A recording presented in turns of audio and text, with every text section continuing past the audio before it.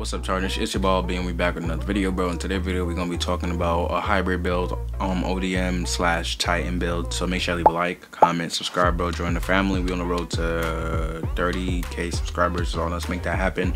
Our channel been growing very slowly. I mean lack of content, you know, not really much anything to post.